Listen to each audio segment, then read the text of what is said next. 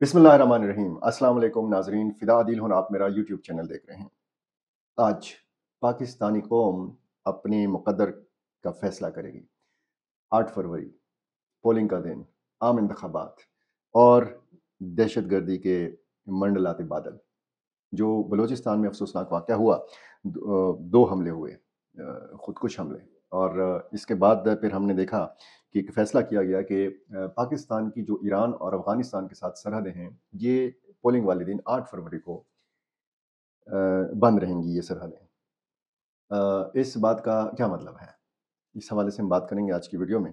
बलूचिस्तान के वाक़ के हवाले से, कुछ आम इंतबात के हवाले से बाड़ा खैबर, ज़िला खैबर का इलाका है, यहाँ पर दाइश के पोस्टर लगाए गए हैं। इन पोस्टरों पर आवाम से क्या कहा गया है?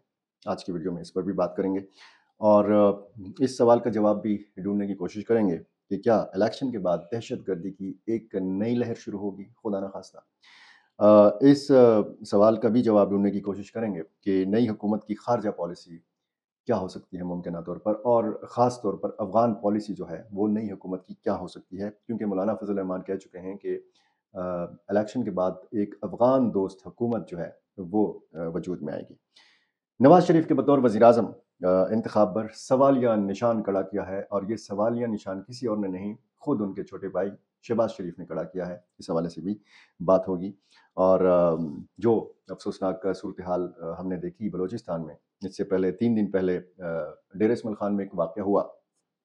दस पुलिस एहलकार जहाँ बहक हुए इस वाक़े की तीन दिन बाद एक किस्म का आप कह सकते हैं कि ज़िम्मेदारी कबूल की है तहरीक तालिबान पाकिस्तान ने।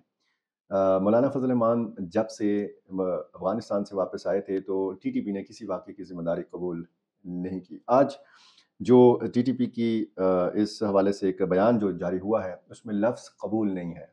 यानी पहले ये लिखा जाता था कि जी, तहरीक तालिबान पाकिस्तान फ़लाँ वाक़े की ज़िम्मेदारी कबूल करती है, लेकिन जो बयान टी टी पी ने जारी किया है तो उसमें लफ्ज़ कबूल तो नहीं लिखा, लेकिन ये ज़रूर लिखा है कि टी टी पी के कामयाब हमले में जो जो हुआ, फिर तफसील उन्होंने ये बयान की है डेर इसमल खान के हवाले से, इस डेवलपमेंट के हवाले से भी बात करते हैं। सबसे पहले हम बात करेंगे जो तर्जुमान दफ्तर खारजा ने कहा है कि आठ फरवरी को अफ़गानिस्तान और ईरान के साथ जो बॉर्डर हैं वो बंद रहेंगे। क्यों बंद रहेंगे? इस बात का मतलब क्या है? इस बात का क्या ये मतलब है कि जो इंट्री पॉइंट्स हैं पाकिस्तान की, अफ़गानिस्तान के साथ, यानी चमन स्पिन बोल्डक अंगूर अड्डा, खरलाची, गुलाम खान या तोरखम। या इसी तरह जो ईरान के साथ हमारे जो सरहदी जो इंट्री पॉइंट्स हैं, जहाँ से आमद रफ्त होती है, क्या दहशत गर्द इन इंट्री पॉइंट्स के ज़रिए दाखिल होते हैं पाकिस्तान के अंदर? क्या अगर दहशत गर्दों ने इन्हीं इंट्री पॉइंट्स के के ज़रिए पाकिस्तान में दाखिल होना था तो क्या वो रात बारह बजे से इलेक्शन की रात बारह बजे तक ही उन्होंने दाखिल होना था? क्या इससे पहले उन्होंने कोई मनसूबाबंदी ऐसी नहीं की थी कि इन सरहदी पॉइंट्स के ऊपर ये दाखिल होते। ये बंद क्यों किया गया? सिक्योरिटी खदशात के पेश नज़र अब अगर दहशत गर्द आएँगे और पशीन में या किला सैफुल्ला में हमले करेंगे तो फिर वो उसी दिन आएँगे। उसी दिन ये आएँगे और उसी दिन ये हमले करेंगे। ये ये बड़ा अजीब सी सूरत हाल है। चौबीस घंटे तक तुरखम बॉर्डर जो है, इसको हर कस्म की आमदोरफ्त के लिए बंद रखा जाएगा। पैदल आमदोरफ्त भी बंद होगी। माल बरदार गाड़ियाँ जो आती जाती हैं वो उनको भी आने जाने नहीं दिया जाएगा। बॉर्डर पर कस्टम समेत तमाम सरकारी दफातर भी बंद रहेंगे और बॉर्डर हुकाम के मुताबिक किसी को भी बॉर्डर क्रॉस करने की इजाज़त नहीं दी जाएगी। जो बलूचिस्तान में खुद कुछ हमले हुए, जो सूरत हाल हमने देखी, इस पर एक तो तीन रोज़ा शोक का हुकूमत ने ऐलान किया है। और एक पहला हमला हुआ पशीन में जहाँ पर इलाका है खानुजई यहाँ पर आज़ाद उम्मीदवार के इंतबी दफ्तर के बाहर धमाका हुआ। हालाँकि इंतबी मुहिम जो है वो रात को बारह बजे ख़त्म हो चुकी है, लेकिन इंतबी जो दफातर होते हैं इलेक्शन ऑफ़िस जो होते हैं, वो तो ज़ाहिर है कि पोलिंग वाले दिन भी खुले होते हैं। तो इसके बाहर ये धमाका हुआ है और इसके नतीजे में चौदह अफराज जहाँ भाग हुए, तीस से ज़्यादा जख्मी हुए। इसी के बाद कोई लगभग डेढ़ दो घंटे बाद किला सैफुल्ला में जमीयतुलमा इस्लाम के इंतबी दफ्तर को निशाना बनाया गया। यहाँ पर मौलाना अब्दुल वासे कैंडिडेट हैं और इस हमले में चौदह अफराद जहाँ बहक हुए। टोटल दो हमलों में अट्ठाईस अफराद जहाँ बहक हुए हैं और तकरीबन पचास के लगभग जो हैं ये ज़ख्मी हैं। ये जो अमवात हैं, इनमें इजाफे का खदशा भी ज़ाहिर किया जा रहा है। अब ये अगर पोलिंग वाले दिन के हवाले से बात की जाए और सिक्योरिटी खदशात के हवाले से बात की जाए और फिर सरहद बंदिश के हवाले से देखा जाए कि ये फ़ैसला अगर किया गया है तो इसका ये मतलब है कि हम बहुत ज़्यादा महफूज रहेंगे पोलिंग वाले दिन क्योंकि दहशत गर्द सिर्फ़ सरहदी पॉइंट्स के ज़रिए आएँगे और यहाँ पर उनकी कोई मौजूदगी नहीं है, पाकिस्तान के अंदर कोई मौजूदगी नहीं है। तो ये एक अजीब व गरीब फ़ैसला था जिस पर मैंने कहा कि आपसे ज़रूर अपने ख्याल जो हैं इसका इजहार किया जाए और देखा जाए कि जी सूरत हाल इस वक्त है क्या। बाड़ा में पोस्टर लगाए गए हैं दीवारों के ऊपर और दाइश की तरफ़ से लगाए गए हैं। दाइश जो है, ये तंजीम जो है, ये पाकिस्तान और अफ़गानिस्तान दोनों के लिए एक बड़ा चैलेंज है। ये इस पूरे ख़त्े के लिए बहुत बड़ा चैलेंज है। ईरान के लिए भी बहुत बड़ा चैलेंज है। और अकवा मुतहदा की जो हालिया एक अफ़गानिस्तान के हवाले से रिपोर्ट है, उसमें बतौर ख़ास दाइश और टी टी पी का ज़िक्र है। इस पोस्टर में ये लिखा गया है कि जी आवाम जो हैं वो पोलिंग के अमल से दूर रहें। ज़ाहिर है कि दाइश जमहूरीत को नहीं मानती और इसी तरह मैंने आपको पिछली कुछ वीडियोस में बताया था कि टीटीपी के अंदर भी इख्तलाफ राय पाया जाता है कि इंतबी सरगर्मियों को निशाना बनाने के हवाले से। कुछ इसमें तंजीम के अंदर लोग हैं कि वो कहते हैं कि जी निशाना बनाना चाहिए जमहूरीत को और सियासतदानों को, सियासी जमातों को। और कुछ लोग ये हैं कि वो कहते हैं कि नहीं इस तरह सियासी जमातें उनका हदफ नहीं है, उनका हदफ पाकिस्तान की सिक्योरिटी फोर्सेस हैं। मौलाना फजल रहमान जब गए थे अफ़गानिस्तान तो उन्होंने वहाँ पे बड़ा हसास मुलाकातें भी की थी और ये बताया गया है कि जी, टी टी पी की क़्यादत के साथ भी उनकी मुलाकातें हुई थी। जो अफ़गान तालिबान हैं, उनकी क़्यादत के साथ भी उनकी मुलाकातें हुई थी और मुला हैबतल्ला जो सुप्रीम लीडर हैं अफ़गानिस्तान के इमारात इस्लामी अफ़गानिस्तान के तो उनके साथ भी मुलाकात हुई है। उसके बाद फिर हमने देखा कि एक खामोशी टी टी पी की तरफ़ से जो भी वाक़ होता था छोटा बड़ा उसकी ज़िम्मेदारी कबूल नहीं की जाती थी। और ये जो डेर इसमल ख़ान हमले की ज़िम्मेदारी कबूल की है आ, लेकिन अल्फाज बदल के कबूल की है। कबूल का लफ्ज़ जैसे मैंने पहले आपको बताया कि कबूल का लफ्ज़ उन्होंने इस्तेमाल नहीं किया लेकिन उस बयान में वाज तौर पर ये देखा जा सकता है कि वो कह रहे हैं कि जी, हमने ये हमला किया है। तो इसका मतलब है उन्होंने ज़िम्मेदारी कबूल की है। क्या मौलाना फजल रहमान की हमत अमली जो है, या जो उन्होंने वहाँ पर यकीन दहानियाँ ली थी और जो मामला दे पाए थे, क्या वो सारा सिलसिला नाकामी से दो चार हुआ है? ये एक बहुत बड़ा सवाल है। और बलूचिस्तान में जो हमले हुए हैं मैं जब ये वीडियो रिकॉर्ड करवा रहा हूँ तो इस वक्त तक तो किसी ने ज़िम्मेदारी कबूल नहीं की उन वाक़ात के हवाले से कि वो किसने, किस ग्रुप ने, किस तंजीम ने किया है। लेकिन टी टी पी की जानब से ज़िम्मेदारी कबूल करना डेर इसमल ख़ान वाक़ की। और डेर इसमल ख़ान वो शहर हैं कि जहाँ जो आबाई शहर है, मौलाना फजल रहमान का। यहाँ से मौलाना फजल रहमान इलेक्शन भी लड़ रहे हैं। मौलाना फजल रहमान पशीन से भी इलेक्शन लड़ रहे हैं। कौमी असम्बली के उम्मीदवार हैं, दोनों अजला से दोनों में हमले हुए हैं। एक का ज़िम्मेदारी जो है कि टी टी पी ने कबूल की है और बशीन और किला सैफुल्ला में जो हमले हुए हैं उसकी ज़िम्मेदारी किसी ने कबूल नहीं की। क्या टी टी पी ने ये जो हमत अमली एक रखी थी कि, कि किसी वाक़े की इस तरह फौरी तौर पर ज़िम्मेदारी नहीं कबूल करनी क्या वो हमत अमली जो है वो उन्होंने अब फौरी तौर पर तब्दील कर दी है? क्या अब ये खदशात बढ़ गए हैं कि इसके बाद जो वाक़ात होंगे फौरी तौर पर टी टी पी माजी की तरह ज़िम्मेदारी कबूल करने का सिलसिला शुरू कर रही है? क्या ये जो एक सिलसिला था वो इलेक्शन तक था?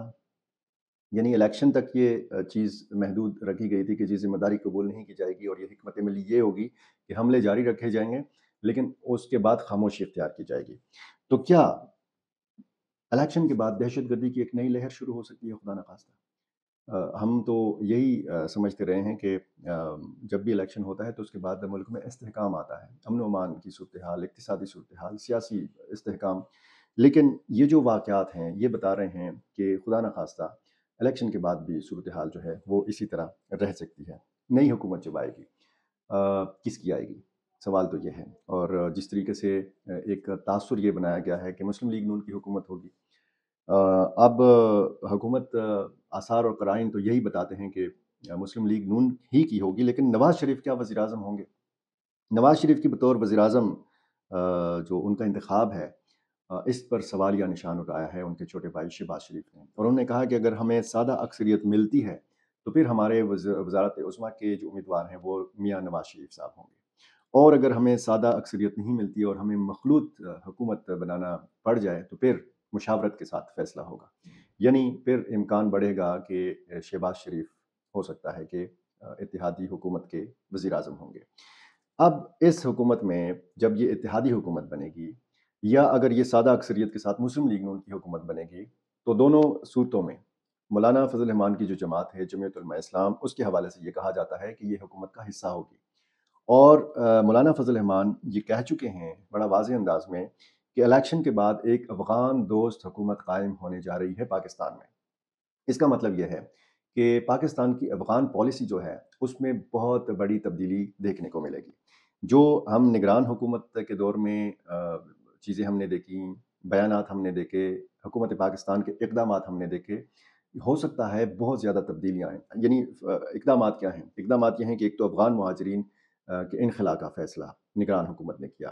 टीटीपी के हवाले से बड़ा मुतालबा किया बहुत शिद्दत के साथ मुतालबात किए पाकिस्तान ने अफ़गान हुकूमत से और बड़ा शिद्दत के साथ इल्ज़ाम लगाए अफ़गान हुकूमत के ऊपर, अफ़गान सरजमीन के ऊपर कि यहाँ पर ये सारी मनसूबाबंदी होती है और अफ़गान सरजमीन को इस्तेमाल किया जाता है पाकिस्तान के ख़िलाफ़। और टीटीपी के हवाले से ये कहा गया, अफ़गान हुकूमत से मुतालबा किया गया कि आप ये टीटीपी के लोगों को पाकिस्तान के हवाले करें। या बेहतर ये होगा कि इनके ख़िलाफ़ अफ़गानिस्तान के अंदर कार्रवाई की जाए। तो ये इसके बाद मुख्तलिफ़ ज़राए से ये इस इम्कान का इजहार किया जाता रहा कि पाकिस्तान मुख्तलिफ़ ऑप्शन इस्तेमाल कर सकता है। फ़िज़ाई कार्रवाई कर सकता है, ड्रोन तैयारों का इस्तेमाल कर सकता है, अफ़गानिस्तान के अंदर घुस कर कार्रवाई कर सकता है। लेकिन सूरत हाल जो है वो बड़ा तेज़ी के साथ हमें देखने को मिला कि पाकिस्तान और अफ़गानिस्तान के माबेन कशीदगी बढ़ी। अफ़गान महाजरीन के मामले के ऊपर भी और फिर जब वहाँ से तुंदो तेज़ बयान का एक सिलसिला शुरू हुआ और पाकिस्तान की तरफ़ से भी तुंदो तेज़ बयान का सिलसिला शुरू हुआ तो तब ये चीज़ हमने थोड़ा ठंडी होती हुई देखी जब मौलाना फजल रहमान अफ़गानिस्तान गए। उनकी मुलाकातें हुई और उसके बाद अफ़गान वज़रा के बयान में भी हमने तब्दीली देखी। और हाल या कुछ दिनों में हम ये भी देख रहे हैं कि अनवारुल हक काकड़, जो निगरान वज़ी अजम हैं पाकिस्तान के उनके बयान में भी तब्दीली देखने को मिली। अब ज़ाहिर है कि बहुत सारे मामला में नई मंतखब हुकूमत की जानब देखा जाएगा। इलेक्शन जब वो हो जाएँगे और अल्लाह करे कि खैर खरीत से ये इलेक्शन हों और उसके बाद जब हुकूमत आएगी तो फिर देखा जाएगा कि जी सूरत हाल क्या है? क्या जो दो तरफा डिमांड्स हैं, यानी पाकिस्तान की डिमांड्स हैं अफ़गानिस्तान से, अफ़गानिस्तान की डिमांड्स हैं पाकिस्तान से, इन डिमांड्स को कैसे पूरा किया जाता है? कैसे सुनने का एक तरीक़ाकार इख्तियार किया जाता है? क्योंकि मौलाना फजल रमान जब अफ़गानिस्तान गए तो वो बाकायदा यहाँ से ब्रीफिंग लेकर गए और यहाँ के वजारत ख़ारजा ने, यहाँ के इदारों ने उनको बताया कि ये ये चीज़ हैं, चीज़ें हैं, ये ये पॉइंट्स हैं कि जिन पर बात की जा सकती है और ये पाकिस्तान का मौक़ है और ये पाकिस्तान के मुतालबात हैं। और ज़ाहिर है कि मौलाना फजलरहमान वहाँ से खाली हाथ नहीं आए। वो भी कुछ यकीन दहानियाँ, कुछ मुतालबात लेकर आए और उन्होंने पाकिस्तानी हुकाम के सामने रखे। इसके बाद ज़ाहिर है कि जिस तरह का मैंने आपको बताया था पिछली वीडियोस में कि हसास मुलाकातें हुई हैं और उन हसास मुलाकातों के कुछ नतज भी हमने देखे, कुछ असरात भी हमने देखे। टी टी पी की हमत अमली ज़िम्मेदारी कबूल करना वाक़ात के हवाले से या कबूल ना करना या उस उस पर खामोशी इख्तियार करना, इस हवाले से जो एक हमत अमली थी, वो हमने देखी। लेकिन अब जिस तरीके से निशाना बनाया गया इंतबी दफातर को बलोचिस्तान में तो ये खदशात हैं कि खुदा न खास्ता मुल्क के दूसरे हिस्सों में भी इस तरह के हमले हो सकते हैं। आप जब पोलिंग स्टेशन जाएँ तो सिर्फ़ आपकी ज़िम्मेदारी वोट पोल करना नहीं है, ये ज़ाहिर है कि सिक्योरिटी फराम करना, हुकूमत की ज़िम्मेदारी है। लेकिन बतौर एक इंडिविजुअल के ये आम लोगों की भी ज़िम्मेदारी है कि वो अपनी आँखें खुली रखें, अपने कान खुले रखें, अपने आसपास के माहौल पर नज़र रखें और वोट ज़रूर पोल करने जाएँ, लेकिन जो इस तरह की सूरत हाल है, उससे भी ख़ुद को आगाह रखने की कोशिश करें। क्योंकि सूरत हाल जो है, वो हम ये देख रहे हैं कि बहुत ज़्यादा हसास है और पोलिंग स्टेशंस के ऊपर जिस तरीके से यहाँ पर हम देख रहे हैं खैबर पख्तनख्वा के अंदर या बलूचिस्तान के अंदर या सिंध, बलूचिस्तान पूरे मुल्क में बाकायदा एक दर्जाबंदी की गई है। इंतहाई हसास polling station हसास polling station normal polling station और फिर इसमें बहुत सारे ऐसे पोलिंग स्टेशन हैं जो देही इलाकों में हैं। शहरी इलाकों में हमें बहुत ज़्यादा सिक्योरिटी नज़र आती है, देही इलाकों में हमें बहुत कम सिक्योरिटी नज़र आती है। तो यहाँ पर मकामी लोगों का, मकामी उम्मीदवारों का, सियासी जमातों की भी ज़िम्मेदारी है कि वो इस हवाले से अपनी आँखें खुली रखें और जो ज़ाहिर है कि मैंने जिस तरह शुरू में कहा कि ये एक उम्मीद होती है कि जब इलेक्शन होते हैं तो इसकाम आता है। सियासी इसकाम इकतदी इसकाम अमन अमान की सूरत हाल के हवाले से इसकाम ताकतें तो ज़ाहिर है कि पाकिस्तान में प्रॉक्सिस काम कर रही हैं। पाकिस्तान में ऐसी तंजीमें मौजूद हैं, ऐसे अनासर मौजूद हैं कि जो पाकिस्तान की तरक्की नहीं चाहते, ऐसे अनासर मौजूद हैं जो अफ़गानिस्तान की तरक्की नहीं चाहते। ऐसे अनासर मौजूद हैं जो पाकिस्तान और अफ़गानिस्तान को आगे बढ़ता हुआ नहीं देखना चाहते।